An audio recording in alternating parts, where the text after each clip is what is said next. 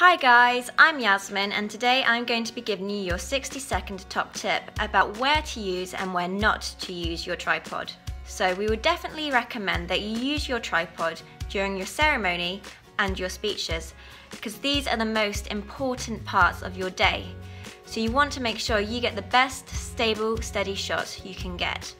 All you've got to do is set the tripod up in one part of the room and hit record. We wouldn't recommend that you use your camera on the tripod for long periods of time during your party because there is not much we can do with this footage because it is just one long continuous shot of the same thing. The party is meant to be one of the best nights of your lives so you want to reflect this in your footage. So make sure that someone is on the dance floor with the camera in their hand, getting up close and personal with your guests. So that concludes today's top tip. Tune in next week for more. Bye!